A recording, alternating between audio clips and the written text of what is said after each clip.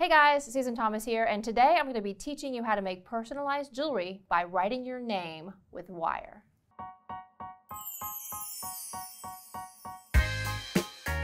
So one of the most personal gifts you can give is a gift of a name or a phrase or word that's really special to somebody. Everybody loves to wear a name necklace, and uh, also a lot of people like to wear necklaces that say things like be brave or thrive or love or hope, something like that. So it's really fun. Thought I'd teach you guys how to do this. When you get started, it's best to practice with larger wire because we're actually going to be writing in wire. And don't feel like you have to go out and uh, find like a bunch of templates for how to make letters. Just use your own handwriting. It's more personal. And I have for instance, very terrible handwriting, but it looks pretty good in wire. So this one says be brave. I'm going to be doing my name in a 20 gauge wire today. I think you guys are gonna love it.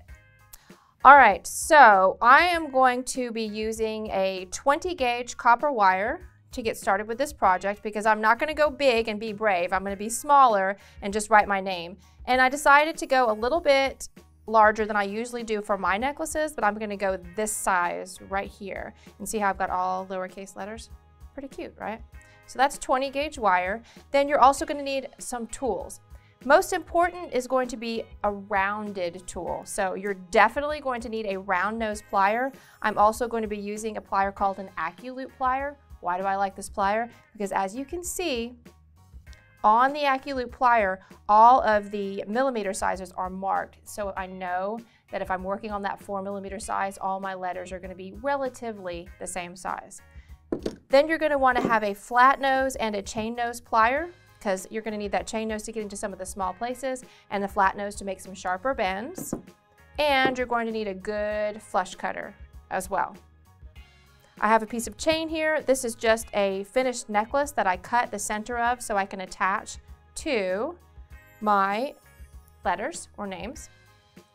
And then over here, I have a lot of extra stuff. These are polishing tools that I'm going to use. I'm using copper, and if I ever use copper, I always like to oxidize it and polish it back up again. It just gives it dimension. So you can do that if you've got copper, or if you have sterling silver. But if you're using a plated wire, then you're probably not gonna need any of this stuff over here. Sound good? Let's get started. All right, so I'm gonna start by pulling myself about 15 inches of this 20 gauge wire. Probably a little bit more than I need, but that'll be a good starting point. The worst part is if you get to the end and you're like at A, like I've spelled Sousa, and then I don't have enough to make the N. I mean, it's just awful, and you gotta start over. So, you're gonna leave yourself a little bit of a tail. I have learned the hard way when I'm making these, and I'll show you guys what I'm talking about. These two I made first, and this is my favorite one I've ever made. This one, I don't know, it just, I love the way it looks, but because I put the little loops down at the bottom, it will not hang correctly on a necklace. So my only choice is to put it on a bracelet, which I will, but I wanted it to be a little necklace. And uh, so I was very disappointed. So you need to make sure that you leave enough wire so you can pull the loops up higher above your name somehow so that it hangs right on your necklace, not upside down. So put those down. And I'm going to do this size because it's a little bit bigger and I think it'll be easier for you guys to see. So very first step is we're going to get started. And a lot of this is done with your fingers. Some of it's done with your tools. I'm just going to kind of bend my wire up a little bit and I'm going to take a flat nose plier. So here's my tail. I'm going to take a flat nose plier and I'm going to bend this into a really, really sharp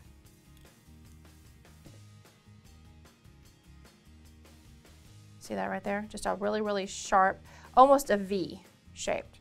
All right, so now you can see kind of what I've done. I moved some tools out of the way so you guys could really see what's happening here.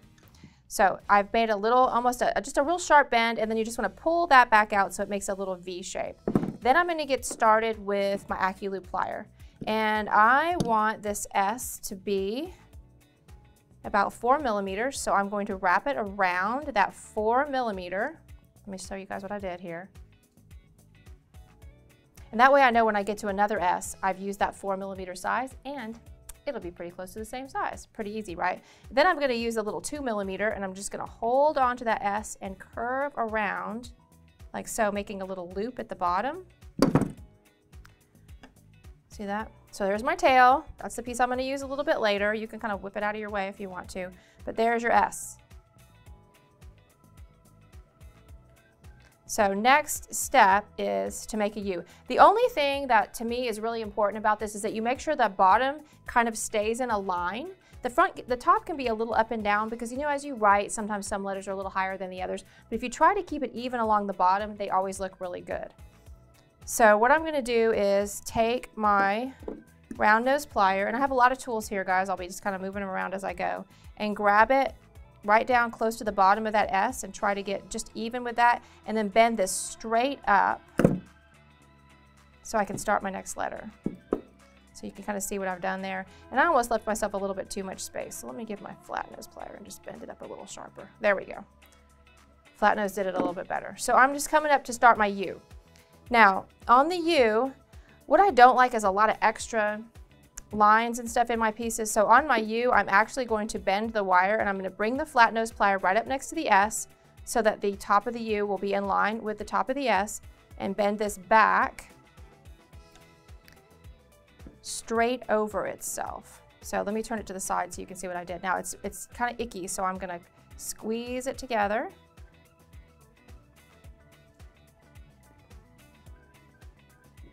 Get my fingers out of the way in just a second. Squeeze that together so it's nice and tight. So as you look at it from the front, you almost can't even see that there's two wires there. Pull that down just a little bit. Now, back to that four millimeter. Get right on that mark right there and pull up into a U shape. And if it comes, see it's too low right there. If it comes too low, then what you want to do is just take this and turn it, bring it up, turn it, bring it up until it's right in line with the bottom of the S.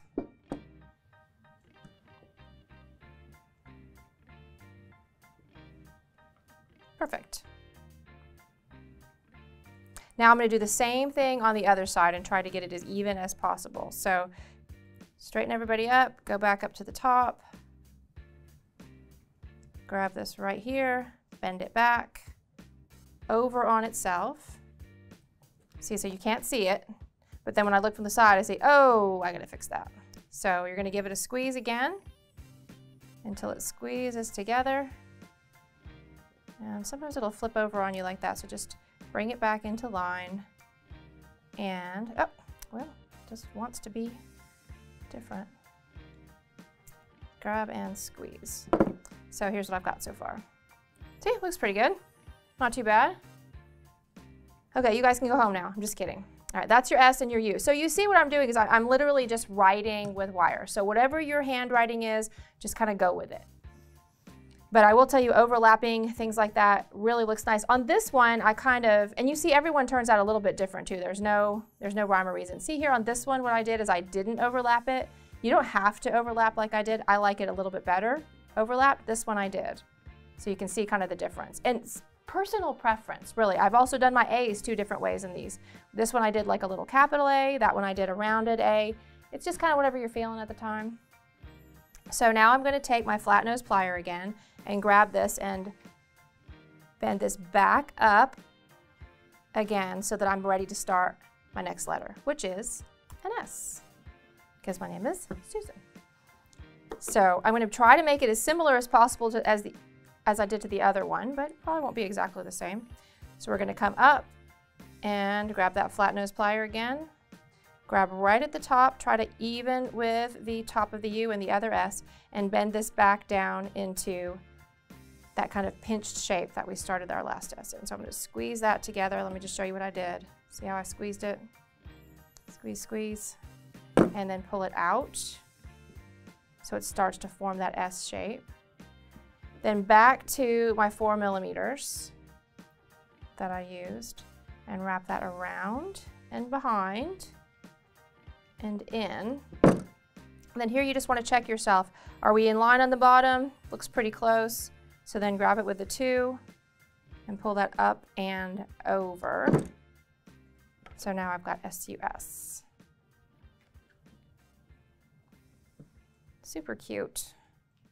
And then see now if your things are looking a little bit like I feel like that one's a little low, you can kind of use your fingers to manipulate the wire just a little bit, just try to keep it flat.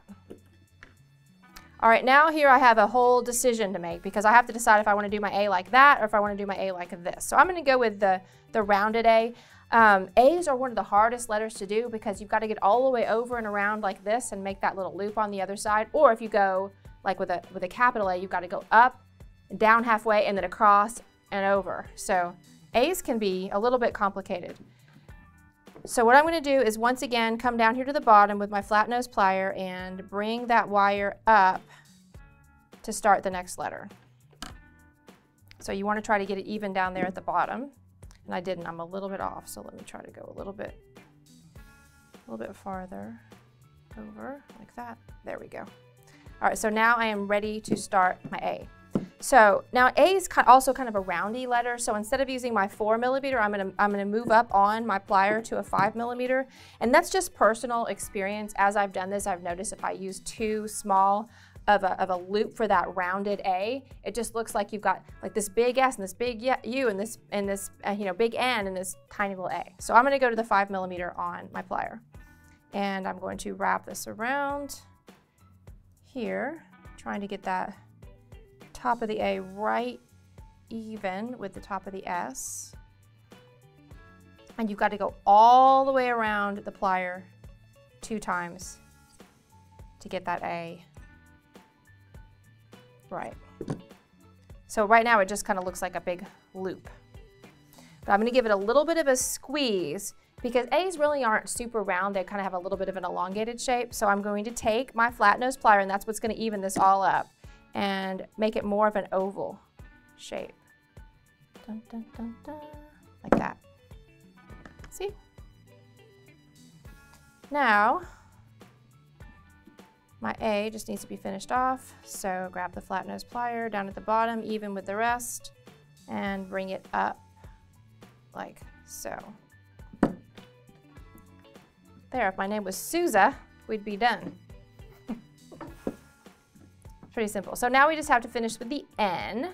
And on the end, you got a little up-down stuff to do because you got, you know how N's have that little, I, I don't know, I, I don't love cursive N's because usually they're like this, but I kind of like the ones that look almost like it's a line. The way I make mine is there's a line and then an, the N is like that. So I, I like to do mine like that. You guys can do a double N if you want to, but imagine if you were doing an M and you were doing a, a lowercase cursive M, it'd be lump, lump, lump, like, I don't know. So you have to think about it. So my thought is to make a line like this, just like I did with the U, and then make the N. So that's what I'm gonna do.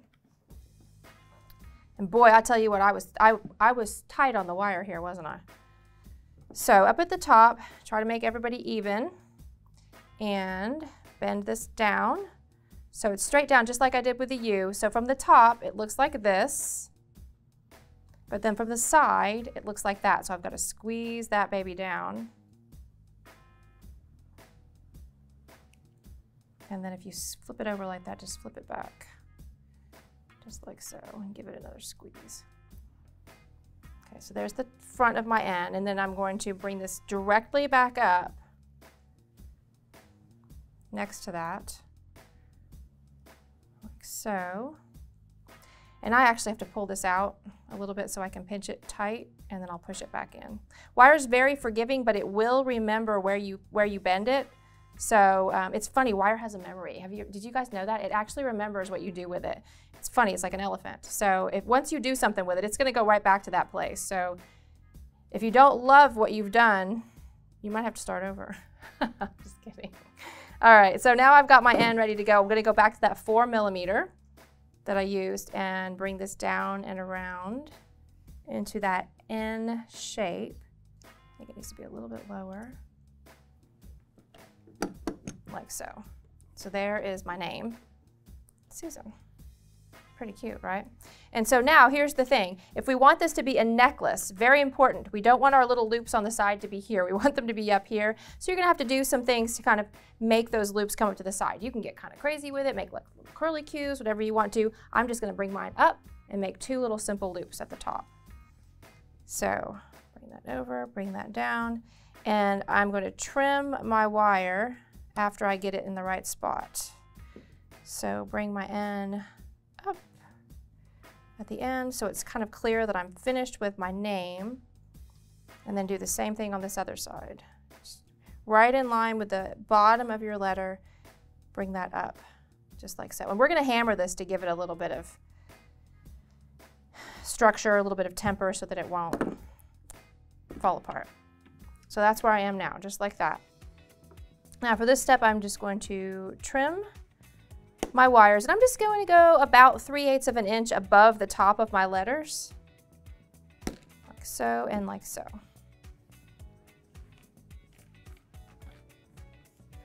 And then I am going to take a round nose plier. I know I have a lot of tools here, guys, but it takes lots of tools. And then I'm going to bring it around into a loop. And this is the part where I always just kind of use my best judgment as to how high up I want this little loop to go.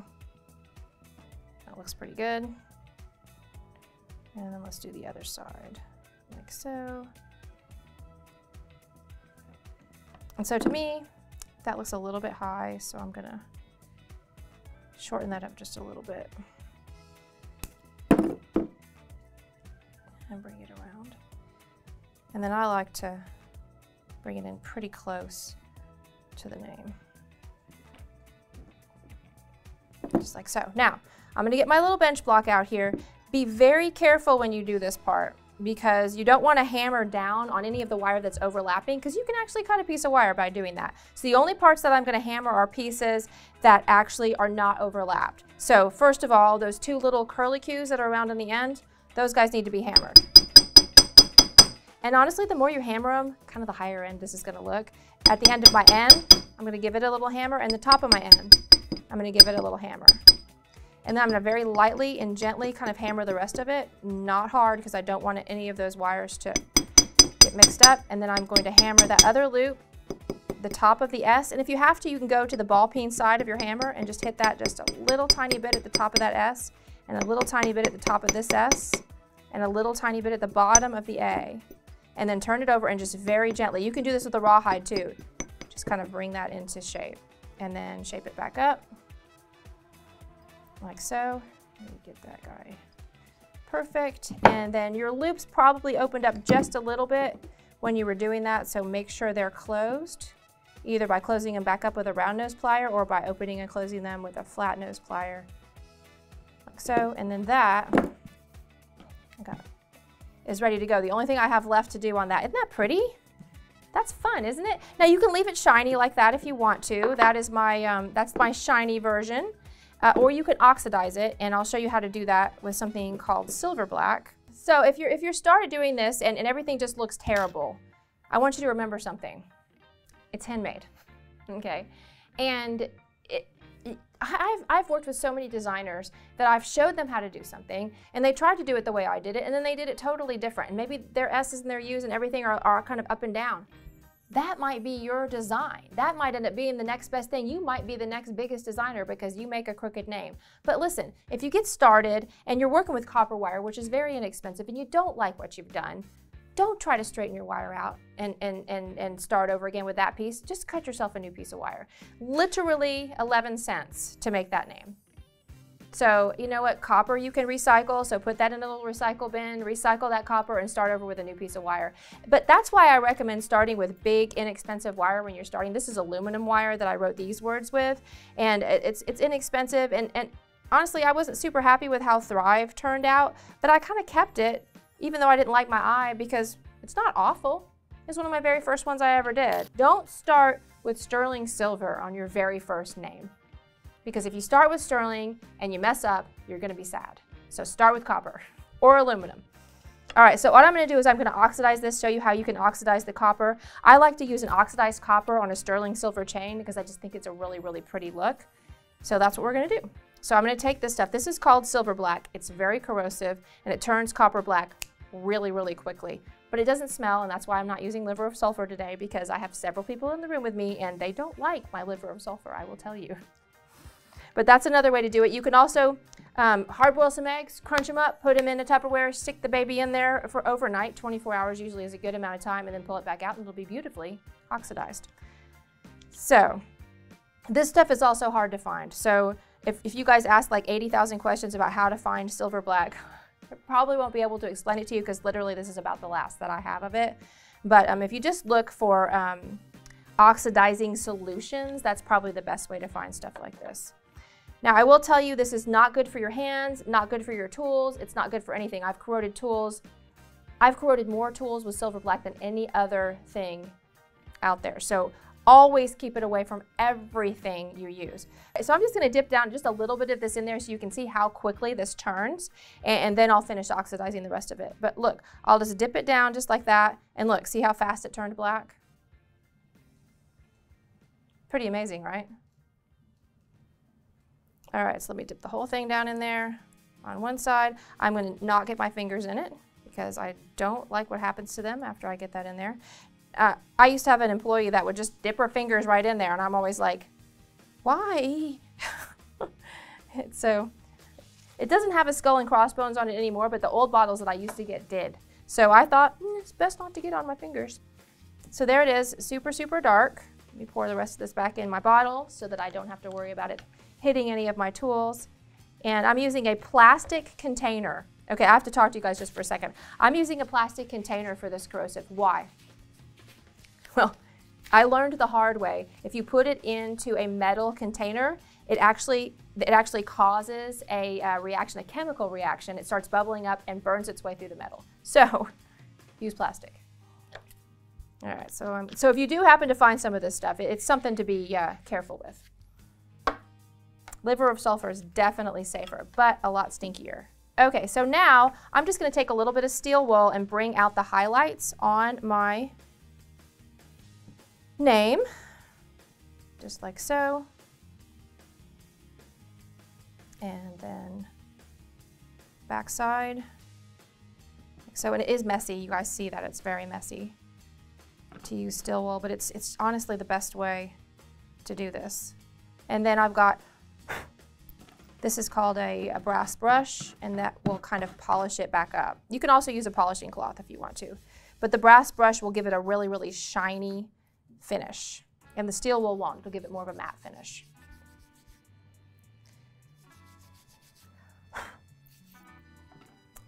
So there we go, that's that. And so now let me clean this up and then I'll attach it to my necklace. So here we go, here's my necklace. This is literally just a 16 inch necklace that I cut the center of. And I'm going to use some jump rings that I'm about to make here to attach this. You guys ever made jump rings? Bonus. Uh, what you want to do is just make sure you make them both the same size. So I'm working on that three millimeter mark on my AccuLoop plier. Just make sure you flush cut them from one side and then the other so you have a nice flat connection.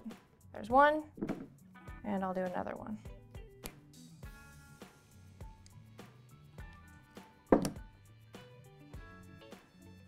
Trim.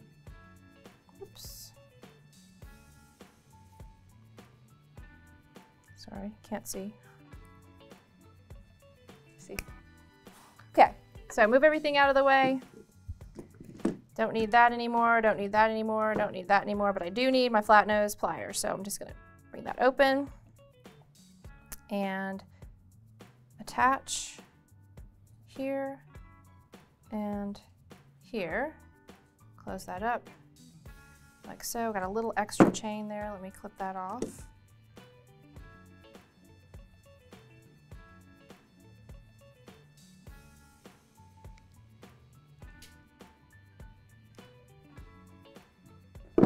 Perfecto. And then other side, grab another jump ring and twist it open. Best way to open and close a jump ring is to use two tools, like so.